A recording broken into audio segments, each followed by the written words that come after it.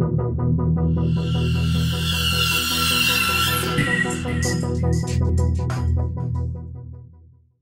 right, in the previous video, we made this little simple jam here. Sounds like this.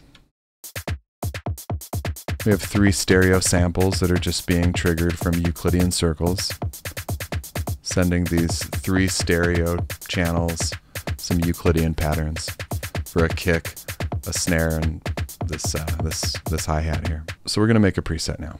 Okay, so we love this. It's the best drum kit we ever made, so we're gonna save it. so you hit save and you give it a name. So you click the encoder and you select the character which you want to change. You just click it again and you can make it whatever you want.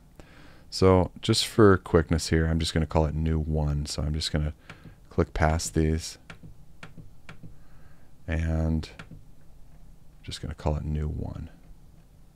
All right. So then you hold down save for two seconds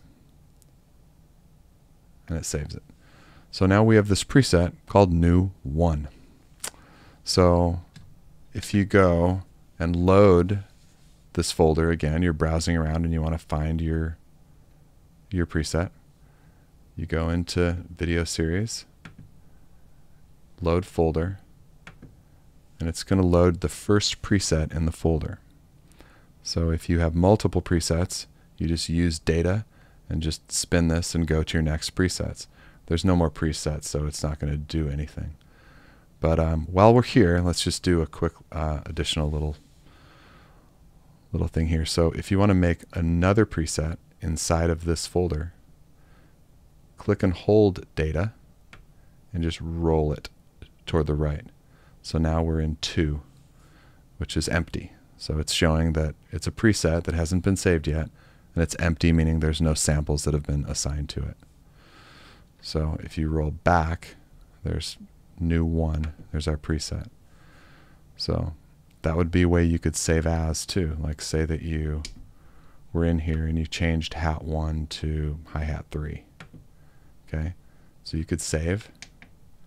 And now instead of calling it new one, I'm just going to roll to the right and see it goes to preset 2 and just for ease of naming here we're just going to call it new 2 all right and then you hold down save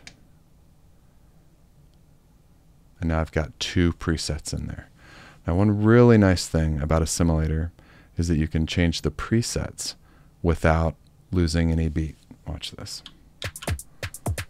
so I've changed that hi-hat sample from from preset one. So watch this. As it's playing, I'm going to turn this. I'm to go into new one. I'm to let it go. And you see, it doesn't lose a beat. Back to new two. Press the data in. So right there, ideas should be going off in your mind. And this is definitely something I've used in many sets where I would set up presets with different samples and switch them during the set, and you get a whole new bunch of sounds. Stay tuned. In the next video, we're going to talk about something I absolutely love doing in Assimil8or, and that's using single cycle waveforms. Okay, we'll see you in the next video.